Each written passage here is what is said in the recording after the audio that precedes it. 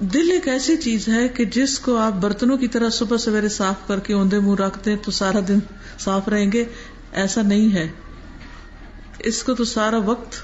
Watch کرنا پڑتا ہے اور اس کا علاج کرتے رہنا پڑتا ہے۔